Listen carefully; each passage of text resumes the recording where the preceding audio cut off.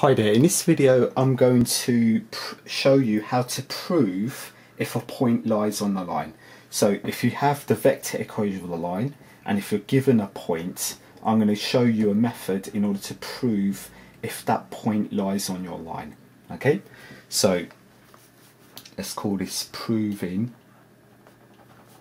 if a point lies on a line. So let me underline that in red. So I hope you can see that. So um, if you're given the vector equation, so if you're given the vector equation of the line, okay, and if you're also given and so given the vector equation of the line and a point, okay, so point in the form A, B, C, so in other words a coordinate, okay. So here's the method to prove if that point lies on the line. So let's underline that. So step number one, step number one is to write down your vector equation of the line um, in parametric form, so write down the vector equation of a line in parametric form, but in particular, find lambda in terms of x, y, and z.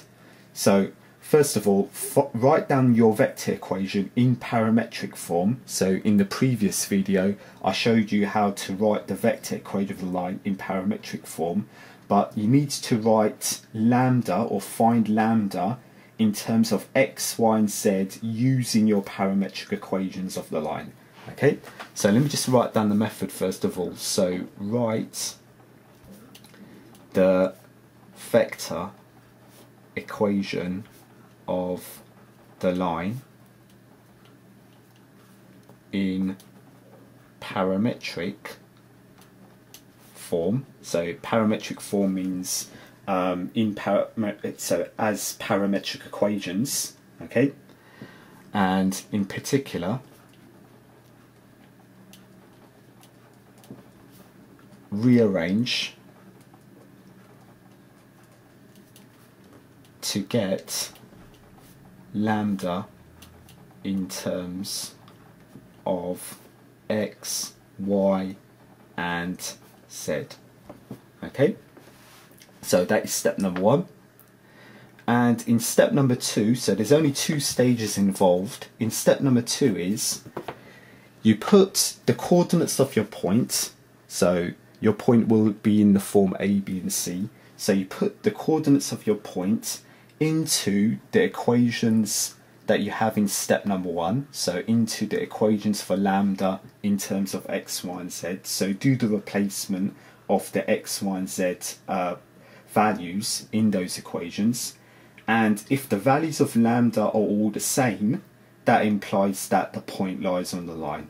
So I must stress that once you do the replacement of x, y, and z in these equations that you have in step number one, the, the values of lambda must all be the same for the point to lie on the line.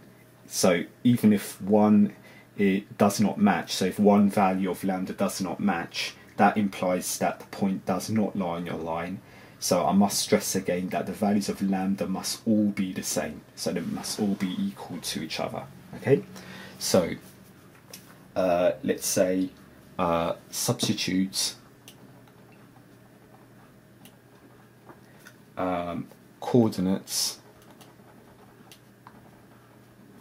of given points into equations okay. uh, for lambda. So let me just say see step one. So the equations arise from step number one. And if values of lambda are all the same so they must all be the same uh, this implies that the point lies on the line. So let me again stress that they must all be the same for the point to lie on your line. Okay?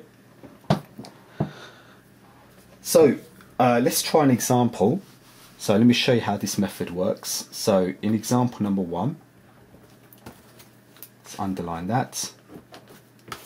The question being, show that, so show that uh, the point uh, with position vector, so with position vector i plus 2j, so i plus 2j, lies on the line uh, L with vector equation. So the vector equation of the line is r is equal to 4i minus j plus lambda into i minus j. Okay, I hope you can see that. So, show that the point with position vector i plus 2j lies on a line L with vector equation r equals 4i minus j plus lambda into i minus j.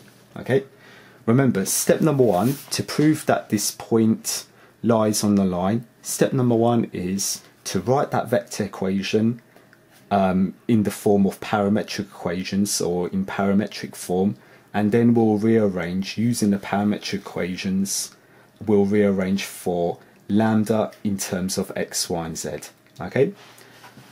So if you know the relationship so in in one of the videos that I did previously if you know the relationship between the vector equation and the parametric equations you could write down the parametric equations uh, of the line quite quickly okay? So let me remind you. So to get x okay x is equal to so this is your fixed point vector 4i minus j the vector without that lambda alongside it. So coefficient of i is 4 so it's 4 looking at your direction vector so the direction vector is the vector beside the lambda. The coefficient of i is 1, so it's plus 1 lambda. So that is the equation for x, okay? And y is going to be, so looking at the j components, firstly, um, the fixed point vector. So the coefficient of j in your fixed point vector is minus 1 and looking at the coefficient of j in your direction vector, i.e. the vector alongside the lambda, coefficient is minus 1, so it's minus lambda. Okay, so these two equations for x, y in terms of the parameter, these are your parametric equations. Okay, so this is step number one. But step number one isn't finished because remember we need to rearrange to get lambda in terms of x and y in our case, so we don't have a z, okay? So if we rearrange, so looking at equation, so let's call these equations 1 and 2. If I take equation 1 and if I rearrange for lambda, lambda will be x minus 4. And if I do the same for equation 2, rearranging for lambda, okay? So lambda is going to be minus 1 minus y, okay? So this ends step number one. So step number one is to get your parametric equations and use your parametric equations to rearrange for lambda in terms of x and y. Once you've done that, go to step number two. Step number two is to substitute your coordinates um, into these equations for lambda. And if the values of lambda are all the same, that implies that the point lies on your line. Okay, so let me show you what I mean by that step.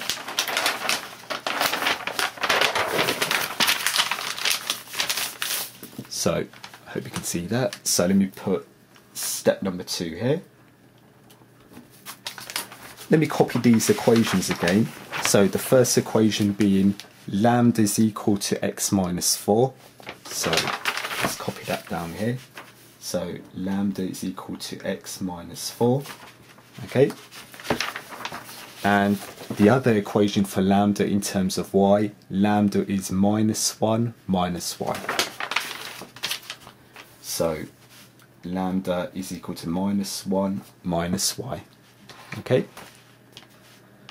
Now, if I go back, the point given is i plus 2j. So the x coordinate is the coefficient of i, the x coordinate is 1, and the y coordinate coefficient of j, y coordinate is plus 2. Okay? So in this case, x is equal to 1, y is equal to plus 2. Okay? So just to remind us of step 2, we need to substitute these coordinates, okay, into these equations for lambda, and if the values of lambda are the same, the point lies on the line. So if I put x equals 1 into this equation here, lambda is going to be x is 1 minus 4 that being minus 3. So this is what we have when x is 1.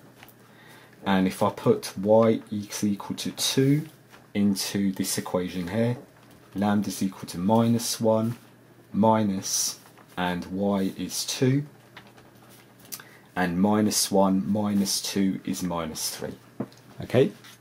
So as you can see the values of lambda are the same. I have minus 3 and minus 3 if the values are the same, your point lies in your line. Okay, so since lambdas are the same, therefore i plus 2j lies on our line L. Okay, so that completes uh, that example.